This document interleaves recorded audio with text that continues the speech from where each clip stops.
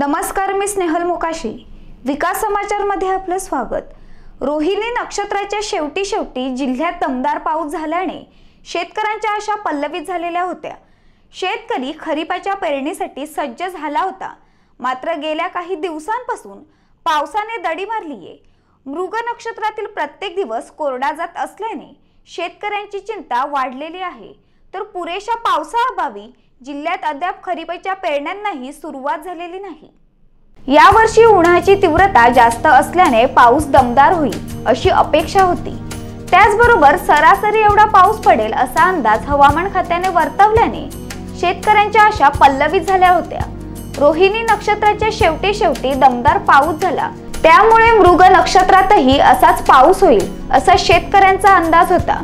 मात्र मृग नक्षत्रातही अगदी रिमझिम पाऊस पडत आहे. जमीन पुरेशा प्रमाणातही ओली देखील झालेली नाही. त्यामुळे पेरणी करता येत नाही. वीस जून अखेरपर्यंत जिल्ह्यात खरीपाच्या पेरण्यांना सुरुवातही झालेली नाही असे कृषी विभागाचे म्हणणे आहे. खरीपाच्या पेरणीसाठी शेतकऱ्यांनी शेतं तयार करून ठेवली आहेत. बियाणे खतांचा साठा करून ठेवलेला आहे. प्रतीक्षा फक्त पेरणी योग्य पावसाची आहे. गेल्या वर्षी एकवीस जून पर्यंत पेरणी झालेली होती. यावर्षी मात्र ती स्थिती नाही. दुबार पेरणीचे संकट नको म्हणून शेतकरी अल्पशा पावसावर पेरणी करायला तयार नाहीत.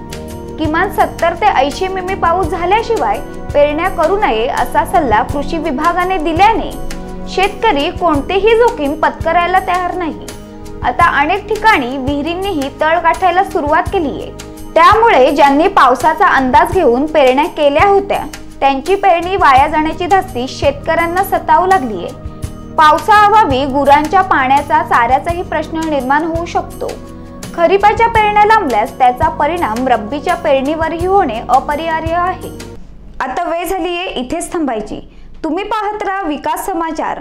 ध्यास ग्रामीण विकासाचा. नमस्कार.